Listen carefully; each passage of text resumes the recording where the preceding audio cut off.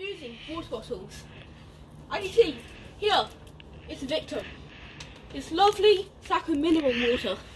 Over here, this is not sponsored by them, by the way. Just if you want a drink. Here is a trusty cricket bat, and we're going to be using it off this table right here. I'm now, and welcome to the episode of using water bottles.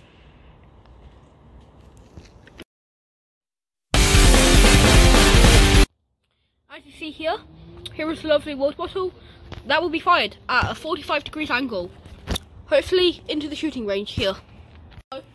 Now, it's time to use it. Are you ready? Three, two, one. Approaching down onto here, we find the remains of the water bottle. Some very slight denting over here. Yeah, a couple dents near impact. Probably none from impact, but it has survived pretty well.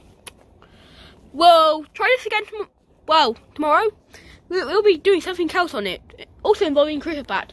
Bye bye.